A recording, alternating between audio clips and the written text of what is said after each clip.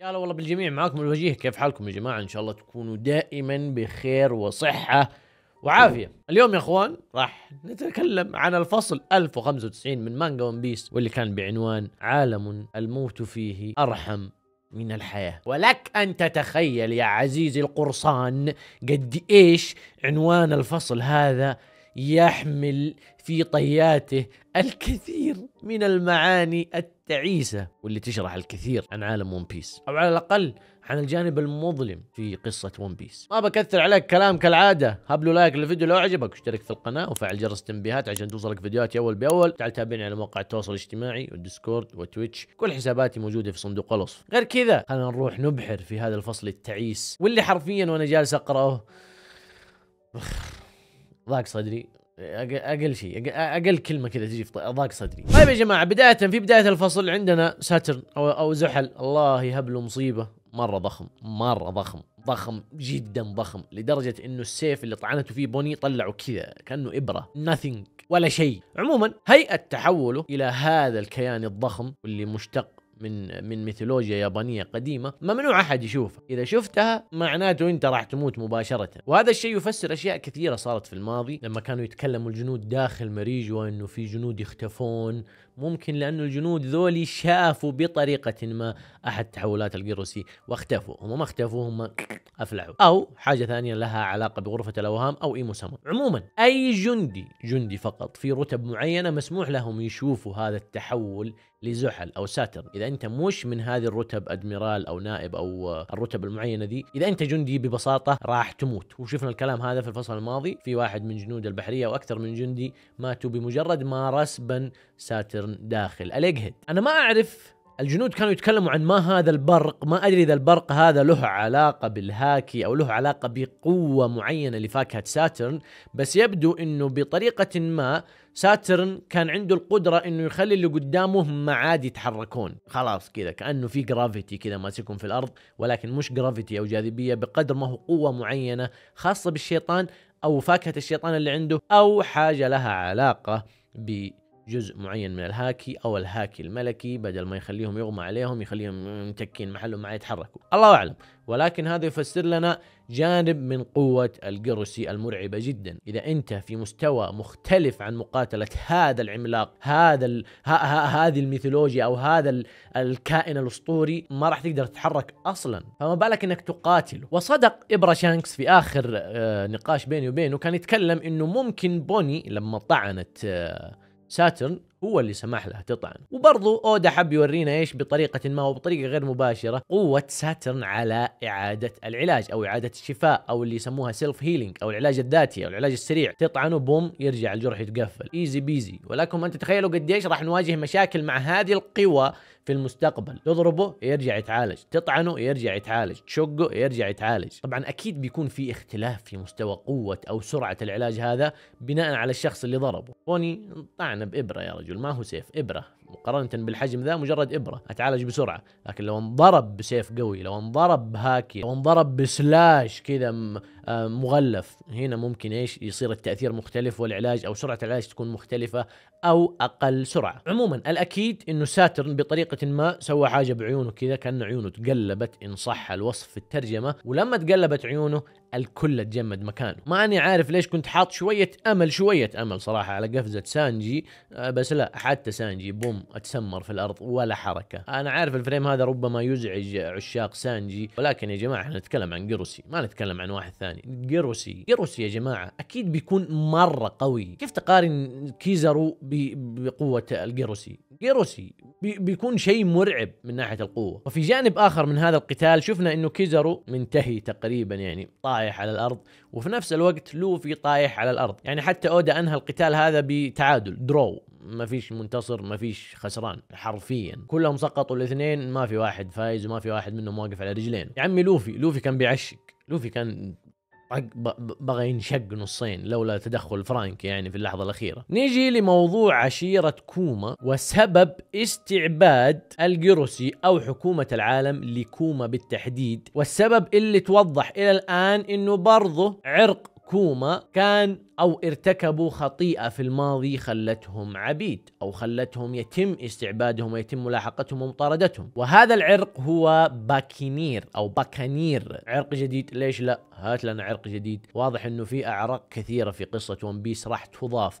مش كثيرة يعني بس قبلها شفنا عرق كينج وبرضه شفنا الآن عرق اللي هم عرق باكنير أو عرق كوما. نيجي للموضوع الأهم واللي هو أسطورة نيكا أو أسطورة آلهة الشمس نيكا واللي سبق وتم تداولها ما بين العبيد لأنه العبد في النهاية دائما ما يبحث عن أكثر حاجة ممكن تخليه يتمسك بشوية إيمان وهو الآلهة نيكا. الآلهة نيكا عندهم في الأساطير إنه كان محرر للعبيد والميثولوجيا هذه متبنينها مين؟ متبنينها كوما ومن قبله أبو كوما لما كان هو وكوما عبيد عند التنانين السماوية. ولعل كوما يا جماعة في مرحلة ما بعد ما عانى وشاف قد إيش العبودية حاجة مرة سيئة وقاسية في عالم ون بيس أو في العالم اللي يعيش فيه. أخذ على عاتقه فكرة إنه لازم يصير شخص يحرر العبيد وينقذ المستضعفين. ومن هنا انطلقت شرارة الثورة. كوما وإيفانكوف وجيني اللي غالبا هي زوجة كوما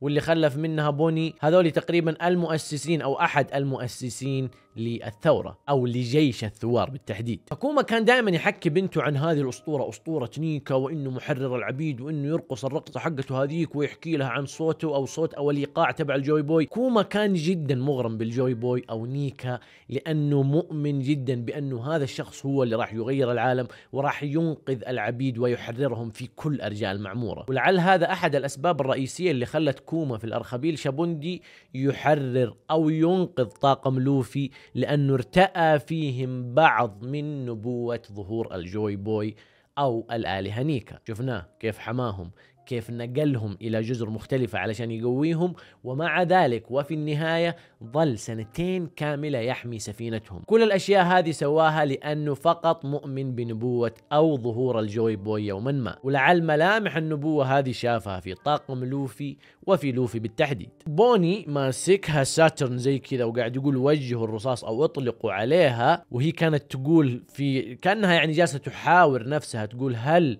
سيأتي وينقذني الآلهة نيكا أو الجوي بوي فيما معناه. وكان يرد عليها الأب. برضو ممكن في حوار كذا روحاني أو أو حوار يعني كذا خيالي. كان يقول لها yep بالطبع راح يجي وينقذك أو راح يجي ويحررك. وهنا انتهت جزئية الحاضر في فصل اليوم وانتقلنا إلى الماضي. يا عمي رجعنا إلى 47 سنة إلى وراء وتعرفنا فيها على أبو كوما ووالدة كوما وتعرفنا فيها على كوما الصغير. وتذكروا كلامي يا جماعة أنا ممكن كررت المعلومة هذه كثير. أودا إذا بدأ يتكلم عن كوما أوعدكم بنشوف قصة جدا تعيسة. وهذا اللي بالفعل حصل. شفنا اليوم قصة تعيسة جدا لكوما وبدايات كوما هو ووالده ووالدته. فكرة إنك تكون عبد فكرة جدا قاسية وتعيسة. فما بالك تكون أنت عبد وابنك عبد وزوجتك عبدة. الثلاث كل شخص من أفراد عائلتك عبارة عن عبيد مقيدين بالسلاسل ويتم ضربهم وتعذيبهم وممارسة أشنع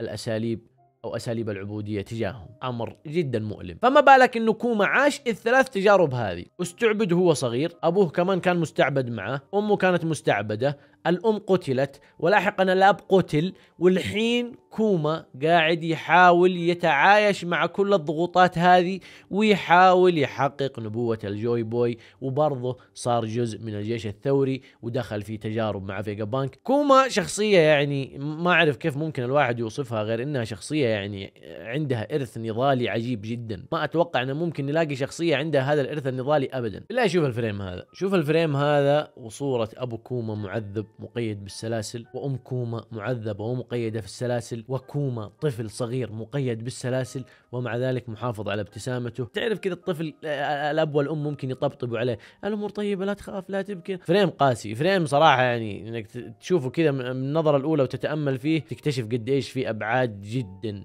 جدا درامية. مؤلمة إلين خلاص. لك ان تتخيل انه كوما من طفولته هو عبد من طفولته هو عبد يضرب ويضطر إنه يخدم التنانين السماوية الكلاب الكلاب السماوية. والله ما يستاهلوا اسم تنانين ابدا الكلاب السماوية. كان يبكي لما يبكي التنانين السماوية يقولوا له انطم لا تبكي ولا راح نقتلك. حتى البكاء محرم. لك أن تتخيل كمية الألم والمعاناة والنضال اللي اضطر كوما إنه يعيشه من يوم هو صغير. أنا ماني عارف صراحة ولكن بما إننا رجعنا بالزمن إلى إلى الخلف كثيرا ما أدري بس الشخص هذا اللي في ال frame هذا بتشوفوه بيظهر لكم هنا ما أدري ليش كذا عندي إحساس إنه دراجون بطريقة ما ما ماني عارف ماني عارف. كذا طريقة ظهوره في هذا ال frame بالشكل هذا تقول إنه شخصية يعني مهمة وممكن أودا قاعد يلمحها لنا بطريقة غير مباشرة. لأنه لو طالعوا في شكله شوفوا شكله شو الخشة. ما أدري ليش كذا أحس إنه دراجون نفس الوقفة مع إنه يعني مش باين التفاصيل كثيرة وأودا قاعد يرسم برجله مؤخرا بس still yeah yeah. في عبارة ذكرت في الفصل واللي هي كانت جزء من عنوان الفصل أبو كوما كان يقول أمك يا كوما ماتت بس لا تحزن الموت أرحم لها من هذا العالم أخ ليه ليه؟ ليش؟ إيش اللي يخلي الإنسان يوصل لمرحلة يشوف إنه الموت أرحم؟ إيش اللي يخلي الإنسان ما يفتقد اهله احبابه لأنه متأكد إنهم راحوا المكان أكثر راحة. مستحيل ابدا نقدر نصف بالكلمات يا جماعة كمية المعاناة اللي مر فيها كوما وأبوه وكل العبيد بشكل عام اللي تحت رحمة التنين السماوية. على العموم يا أخوان التنين السماوية الزحف الزحف يا حبيبي. عندهم فعالية عندهم فعالية سنوية. يصطادون مين؟ أرانب؟ لا. كلاب؟ لا. خنازير؟ لا. سمك؟ لا. يصطادوا بشر. ي... وين في جزيرة ما هي تابعة لنا؟ يلا مشينا يا جماعة مسابقة هناك وجوائز. أحد المتابعين وإحنا قاعدين نتابع الفصل آه، في تويتش قال لي وجيه لو تلاحظ وقت إعلان الفعالية. يا أم القهر. وقت إعلان الفعالية والمسابقة هذه كان في صناديق يبدو إنها الجوائز. ربما الصناديق هذه تحتوي على فواكه الشيطان أو تحتوي على أطفال. وربما أحد الصناديق هذه يكون فيه شانكس وصندوق ثاني برضه ممكن تكون فيه فاكهة لوفي. فاكهة لوفي ما أعتقد إنها جزء من هذه الصناديق نهائيا بحكم خطورتها وقد إيش الحكومة مرة خايفين عليها. ولكن الأكيد إنه الصناديق هذه ممكن ممكن يكون فيها فعلا أطفال. إنه إيه مبروك لك تنين سماوي فزت في هذه المعركة. آه جبت كمية نقاط كويسة خذ طفل هديه ربي يصير ولدك يصير عبد أنت حر. باك تتخيل معايا قديش إحنا مرة مرة مرة مبسوطين ومتحمسين أو من فترة طويلة ننتظر أي شيء عن الجود فالي على أساس إنه في معركة طاحنة في الجود فالي بس قل ما نعرفه عزيزي الوجيه الجود فالي ما كانت معركة بين قراصنة وبين تنانين سماوية. لا لا. في مصايب أكبر صايرة هناك. في مسابقة وفي فعاليات في ملك انقطع راسه كذا زحف. لأنه في واحد اسمه فيجرلاند الله يقلعه في راس الهلال ذا آه، قال يا بجمع نقاط بخلي المنافسة تزيد. إذا قطعت راسه دحين بيخصموا علي نقاط واتحمس وقته الاكثر عشان أجمع. الله أكبر عليك يا شيخ. أقسم بالله يا جماعة لو أشوف أحد يشبه لذي الشخصية أنا بتأكد إن المجتمع الون بيس مجتمع فيه ناس معاقين. معليش معليش. شخصية ما في أي سبب يخليك تحبها وتحترمها نهائيا. شخصية جزمة. أنا ما أعرف كيف ممكن نربط شانكس بالصندوق اللي كان فيه بفيجرلاند الزق هذا. في الفريمات فيه شبه من شانكس بس إيش اللي بيخلي شانكس يتواجد في صندوق؟ إلا لو إنه كذا بعد ما المعركة صارت حامية الوطيس فيجرلاند اضطر يخبي ولده شانكس أو ولد أخوه ولد أخته ولد خالته ايا كان من نفس العائلة في صندوق علشان المعركة وصلت إلى مرحلة مرة خطيرة وبعدين نسيه في الصندوق أو إنه اضطر يهرب وبعدين جاء روجر فك الصندوق واكتشف إنه في طفل وقرر يربيه ما أدري إيش ممكن السيناريو اللي نتخيله بس هذا أقل أو أقرب سيناريو ممكن جاء في بالي. طيب يا جماعة نجي لأهم نقطة في هذا الفصل. الفصل كان دسم دسم مرة دسم صراحة لدرجة إني يعني لما انتهى الفصل ما زعلت. والله كثير والله معلومات مرة كثيرة. okay يعطيك العافية أودا بس ما في فصل الأسبوع الجاي. إيش أسوي لك أنا يا شيخ؟ عموما نيجي للجزئية اللي هرب فيها كوما. لما هرب انت تخيل انك عبد تهرب تحاول تهرب لحريتك يلحقوك العبيد اللي معاك اللي مسجونين معاك يقولوا لك لا تهرب لأنك لو هربت بيقتلونا إحنا كلنا. يقلع أم التعاسة والوجع حتى الحرية حتى فكرة الهرب صايرة مرة فكرة غير محببة. لا خلينا نتلطم نندعس نعذب نكد ليل ونهار ولا ولا نهرب. عن أي حرية وعن أي استعباد نتكلم يا جماعة. عموما ظهرت عندنا شخصيتين في نهاية الفصل شخصيتين مهمة جدا. الثانية ما نعرفها اللي هي جيني. ولكن شخصية ايفانكوف بتكون شخصية جدا مهمة وأكيد لها تأثير قوي جدا على المدى البعيد وبرضه بيكون لها يد وتأثير كبير في تأسيس الجيش الثوري. أنا أعتقد إنه دراجون برضه كان عبد من عبيد التنين السماوية بطريقة ما ولما هرب كوما كان أحد الناس اللي لحقوه أو اللي حاولوا الهروب معه هو دراجون واجتمع الأربعة هذولي إيفانكوف كوما دراغون وجيني وأسسوا الجيش الثوري. هذا السيناريو اللي ممكن نستشفه من أحداث هذا الفصل اليوم. وال frame هذا صراحة اللي ظهرت فيه شخصية تشبه شخصية دراغون ممكن بالفعل هي اللي خلتني أوصل إلى هذا الاستنتاج. قد يكون صح قد يكون غلط. طيب إذا دراغون عبد عند التنين السماوية إيش سالفة أم أم أم أم قارب؟ وكيف يسمح إنه ابنه يكون عبد؟ يا سلام هل هو ابنه فعلا ولا تبناه؟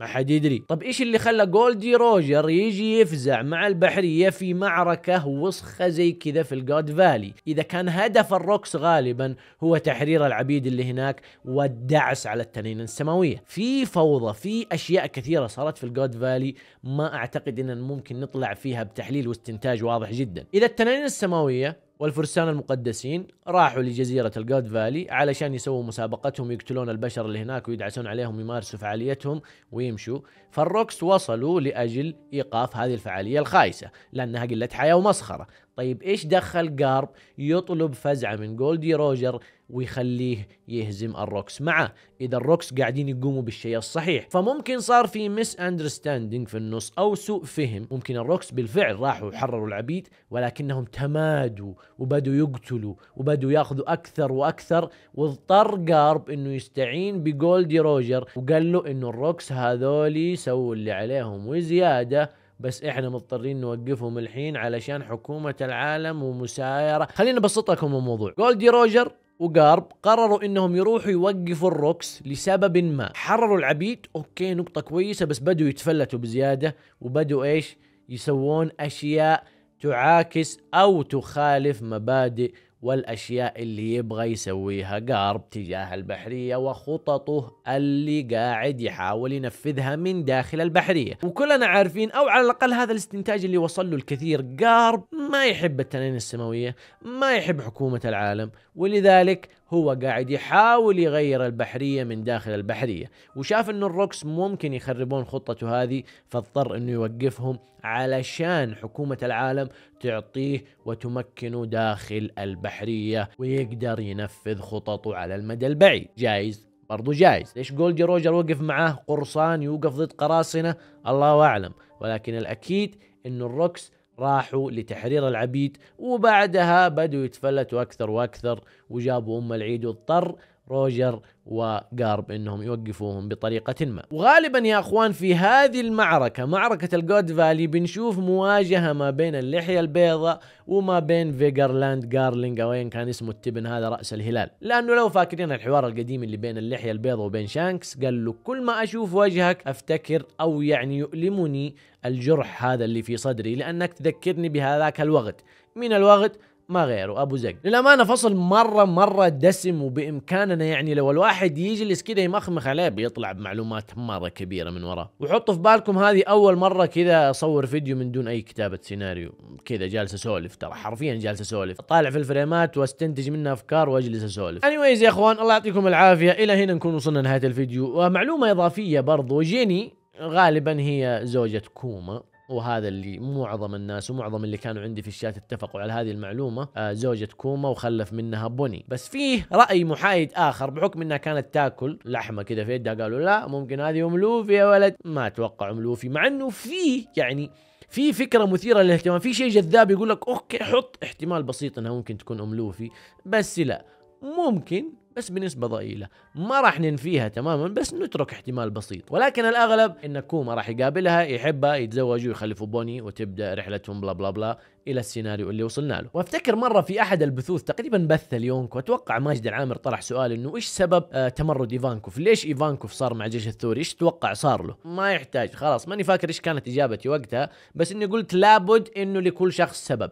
سواء استعباد أو سواء إنه كانت دولته من الدول اللي عادتها لحكومة العالم بلا بلا بلا أو إنه كان داخل حكومة العالم وشاف فضايحهم. ولكن الإجابة يقينا وصلتنا اليوم إيفانكوف شخصيا كان مستعبد. وربما دراغون شخصيا كان مستعبد. وجيني اللي هي غالبا زوجة كوما برضه كانت مستعبدة. كل الجيش الثوري أصلا مبدأهم الحرية مبدأهم إسقاط حكومة العالم. والمشترك أو العامل المشترك فيهم غالبا هو إنهم كانوا عبيد أو بطريقة ما شهدوا مرارة وظلم واستعباد حكومة العالم وعلى ضوءها قرروا إنهم يأسسوا الجيش الثوري. هذا الكلام اللي عندي يا جماعة والمعذرة. ما كانش في سيناريو زي ما قلت لكم. شغلت الكاميرا وجلست أهبد وأسولف وأعطيتكم عصارة أفكاري. الله يعطيكم العافية. إلى هنا نكون وصلنا نهاية الفيديو. لكن الفيديو لو عجبكم اشتركوا في القناة. لو ما كنتم مشتركين فعل جرس التنبيهات وتعالوا تابعونا مواقع التواصل الاجتماعي Discord وتويتش. كل حساباتي راح تلاقوها في صندوق الوصف. كان معكم الوجيه. أشوفكم في الفيديو القادم.